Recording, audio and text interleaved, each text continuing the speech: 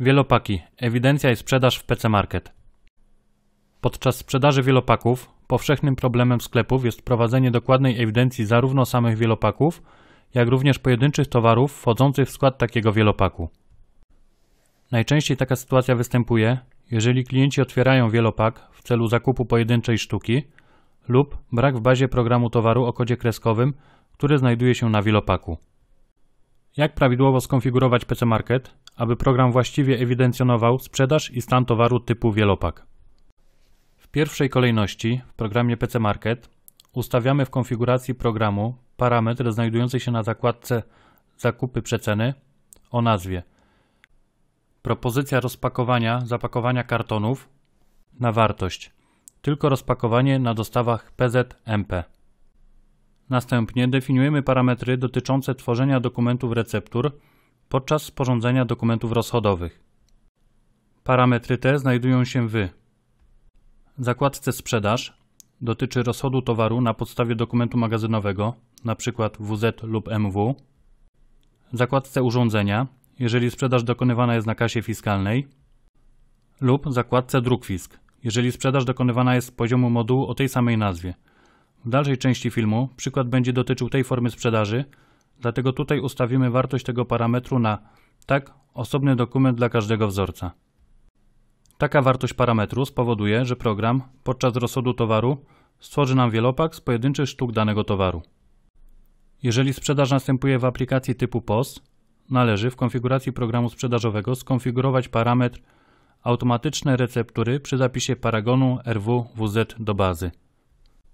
W drugim kroku tworzymy dwie kartoteki towarów.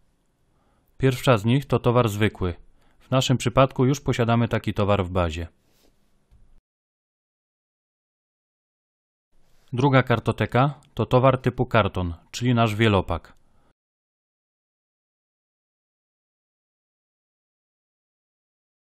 W przypadku zapisu takiej kartoteki towaru, program od razu zasugeruje stworzenie zawartości takiego wielopaku.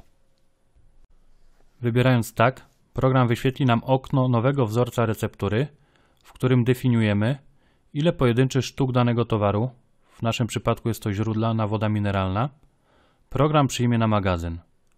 U nas jedna zgrzewka zawiera 6 butelek, zatem tyle wprowadzamy w kolumnie przychód.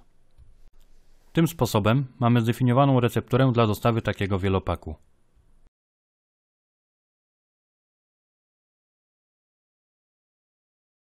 Dla przykładu, tworząc teraz dokument PZ, przyjmujemy na stan np. 10 zgrzewek wielopaku.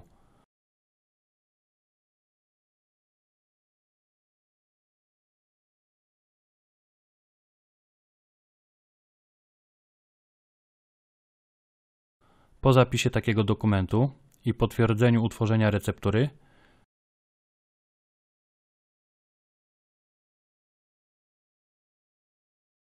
na magazynie pojawi nam się 60 sztuk wody mineralnej. Liczba wielopaków nadal pozostaje 0. Aby podczas sprzedaży wielopaku program ściągnął ze stanu pojedyncze sztuki, należy stworzyć drugą, odwrotną do poprzedniej recepturę. Możemy to zrobić z poziomu menu Towary, Wzorce, Wzorce receptur. Klikamy Dodaj i tworzymy recepturę, która podczas sprzedaży przesunie z kartoteki pojedynczej wody mineralnej 6 sztuk butelek na jedną sztukę zgrzewki, czyli naszego towaru karton.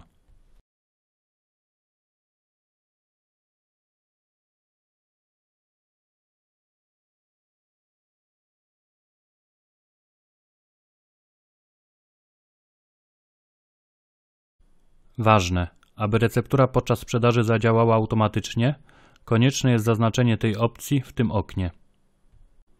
Po skonfigurowaniu programu możemy przejść do sprzedaży takiego wielopaku. Sporządzamy paragon, na którym skanujemy kod kreskowy wielopaku.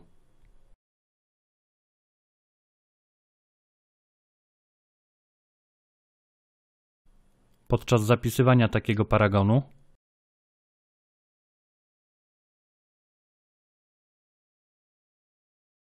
Program automatycznie zmniejszy ilość sztuk w kartotece pojedynczego towaru o 6 sztuk i wprowadzi na stan jedną zgrzewkę tego produktu. Co zyskujemy, prowadząc taką sprzedaż poprzez wielopaki? Mamy dostęp do aktualnego stanu towaru na magazynie. prowadzimy szybką sprzedaż wielopaków bez konieczności rozrywania opakowania zbiorczego celem zeskanowania kodu towaru. Mechanizm jest możliwy do zastosowania we wszystkich asortymentach po wcześniejszym odpowiednim zdefiniowaniu receptur.